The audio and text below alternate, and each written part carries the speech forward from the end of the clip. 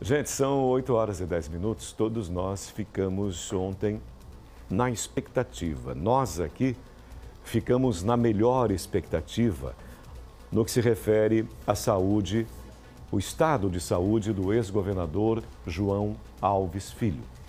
8 horas e 10 minutos. A boa notícia agora, agora, é que ele permanece internado no Hospital Santa Luzia, em Brasília. O ex-governador reside na capital federal atualmente.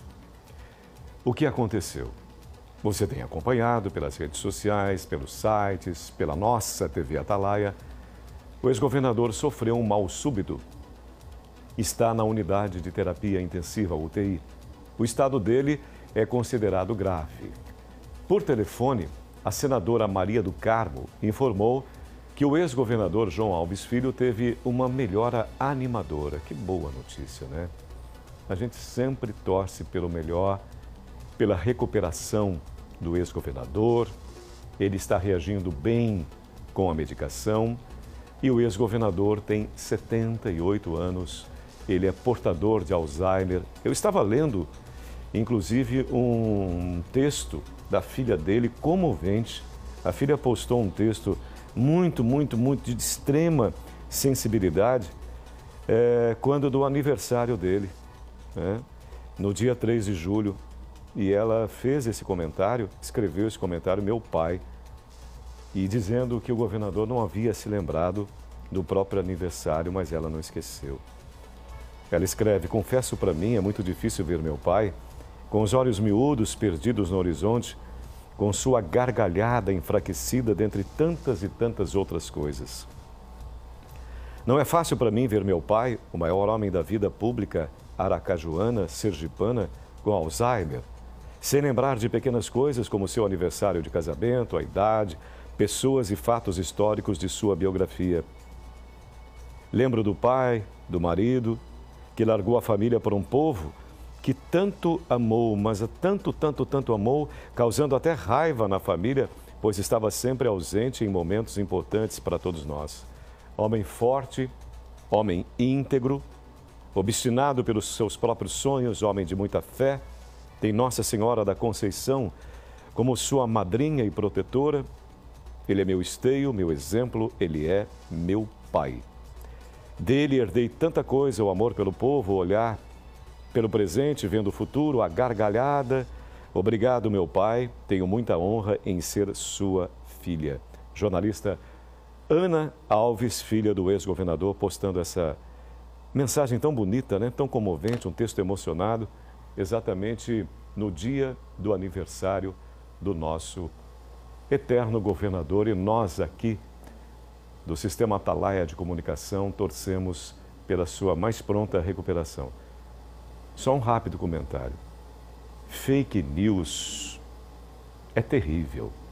É uma doença. Eu sofri exatamente na pele o estrago tremendo que é provocado por fake news. Então, eu peço a você que dá muito mais valor a curtidas, a likes, que você se lembre que você também é um ser humano. Você eu presumo, tem a família. Você tem família. Tem certeza absoluta disso. Pense em seus familiares. Pense. Se você soubesse que alguém. Eu vi várias, não foram duas nem três, várias publicações anunciando o falecimento do nosso ex-governador. Falta respeito. Eu tenho absoluto e total nojo por pessoas da minha profissão que valorizam muito mais a exclusiva a notícia inédita, a antecipação do fato. Eu tenho verdadeiro asco por profissionais, entre aspas, porque não são profissionais, quando se antecipam a uma tragédia única e exclusivamente pela satisfação pessoal. Então eu imploro a você, quando você realizar, pensar em realizar esse crime, porque é um crime, é uma mentira. Divulgar uma mentira é crime, que você pense em sua família. Você tem família, você tem pai, você tem mãe, você tem filhos, você tem avô, você tem avó, você gosta de alguém. Pense nisso. Não seja irresponsável. Não seja inconsequente. Não crie e muito menos compartilhe.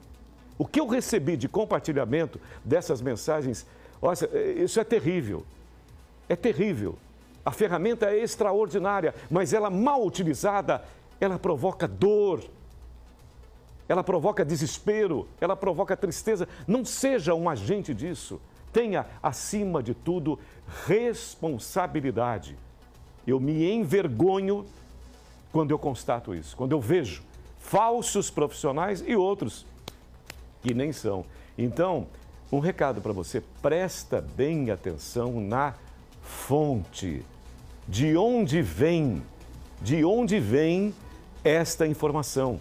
Há profissionais sérios e há curiosos apenas. Gente que vai ali, digita e se diz profissional de comunicação, profissional de informar. Eu sou jornalista. Não sei de onde você é jornalista. Você que promove a mentira, você que promove a farsa, você que divulga o erro e, acima de tudo, a maldade. Me envergonho disso.